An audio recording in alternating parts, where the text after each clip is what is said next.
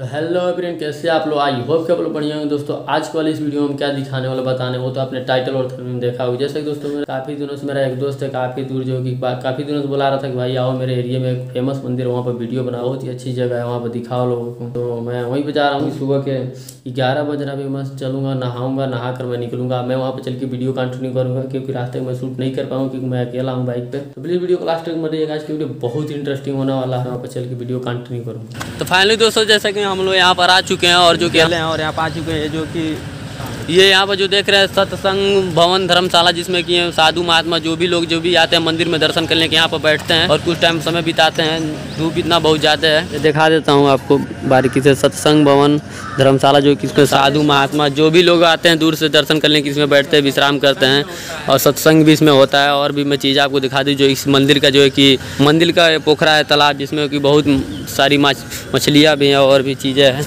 अभी हाल ही में मछली इसमें छोड़ा गया है, जो कि छोटी छोटी हैं।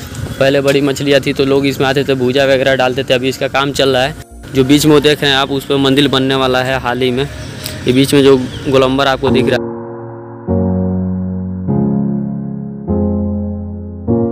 और इसके बगल में एक छोटा सा जो है कि होटल है, और भी सारे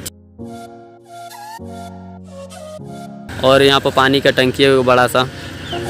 बहुत सारी चीज़ें आप आप देख रहे हैं बगल में, जो कि सरकारी सुविधाएँ यहाँ पर बहुत अच्छी अच्छी की गई है। और ये जो मैं थमलेन में आपको दिखाया था।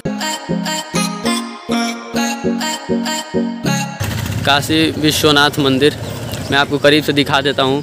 बहुत ही अच्छी मंदिर है, अंदर चल के मैं दिखाता हूँ। देखते हैं अंदर जाना अलाउ है या नहीं। क्योंकि मैं अभी पूरा जो हूँ और ये मेरा बाइक है, यहाँ पे जो मैं अपना बाइक रखा हूँ। और यहाँ पर काफ़ी बाइक है जो गेट इसलिए बंद है कि अभी इसका काम जो है कि चल रहा है। बीच में जो मैं बता रहा था कि वहाँ पर मंदिर बनने वाला है तो मंदिर बन जाएगी इसलिए यहाँ पे बंद है, नहीं तो हम अंदर जाकर वहाँ से करीब से दिखाते हैं।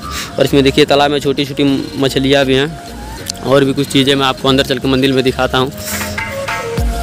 ये मंदिर का मेन गेट है, जहाँ से अंदर हम लोग प्रवेश करेंगे। जो थमलेन में आपने देखा होगा, काशी विश्वनाथ मंदिर।